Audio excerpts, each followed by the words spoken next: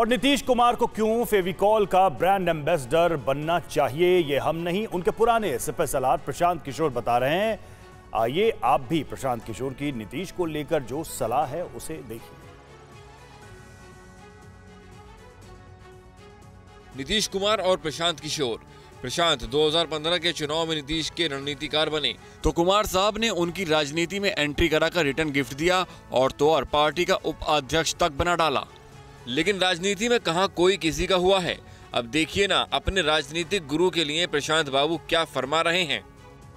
कि फेविकॉल वालों को ऐड का ब्रांड एम्बेसडर अब नीतीश कुमार को बना लेना चाहिए। इससे बेहतर कोई उपाय नहीं है। अपना कुर्सी पर फेविकॉल लगाकर चिपके हुए हैं, जिसको उलटना है, पलटना है, जो भी करना है।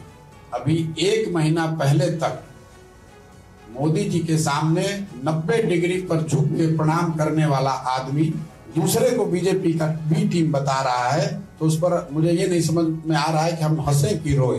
अरे भाई, कौन रोका है? आप दोनों ही जो मर्ज़ी है कीजिए और कहिए। बाकी आखिरी मर्ज़ी तो 2024 में जनता की होगी।